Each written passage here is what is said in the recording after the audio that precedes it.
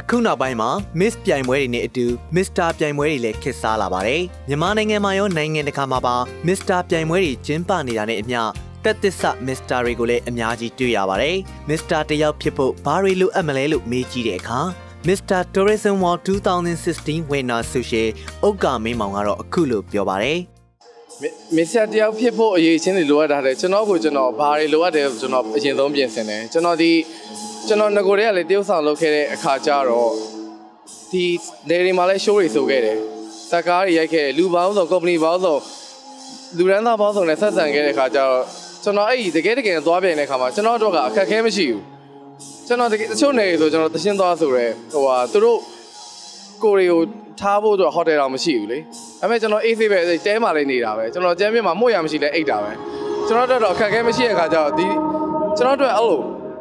humble ဖြစ်တဲ့ဟာပေါ့ဒါကကျွန်တော်ငကိုရဲ့လူတိုင်းနဲ့တက်အောင်ပေါင်းတတ်တယ်အပေါင်းပေါင်းတဲ့ဆက်စပ်ရေးကျွန်တော်ငကိုရဲ့လူတိုင်းနဲ့ပြဿနာမရှိဘူးဆိုတော့အဲ့ဒီအရာရဲ့အများကြီးထောက်ကူပြုတယ်ပြီးတော့လည်းအဲ့ဒီကိုယ့်ရဲ့ကိုချင်းစာရိတ္တ body ဘိုင်း knowledge ဘိုင်းကျွန်တော်အစအစအရာပြင်ဆင်ခဲ့ရဆိုတော့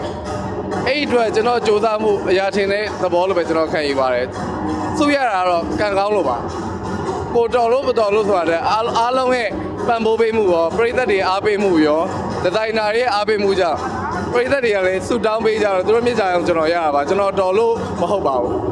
Mr. Asia 2014ပြိုင်ပွဲမှာ second runner up ဆုအပါအဝင်ဆု5ဆုရရှိခဲ့တဲ့ Kara ကလည်းအခုလိုပြောပြပါဗျ။ပထမဆုံးအရေးကြီးရဲ့အရေးချင်းကတော့ဒါ communication ပေါ့တယောက်နဲ့တယောက်လူတယောက်ကစပြီးတော့ဟိုတွေ့ပြီဆိုကြတဲ့စကားစပြောရတယ်စပြောရတော့ဒီကဒီလူမှုဆက်ဆံရေးကတော့အရန်ရေးကြည့်ပါတယ်အဲဘာပဲဖြစ်ဖြစ်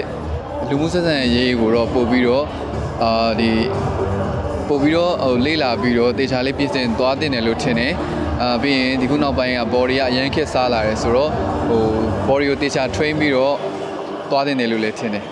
လက်ရှိအချိန်မှာ Mr. Global မြန်မာနဲ့ Miss and Mr. Grand Prix ပြိုင်ပွဲတွေကိုကျင်းပနေပါတယ်။ကျွန်တော်ကျော်တော်ဟိမှာ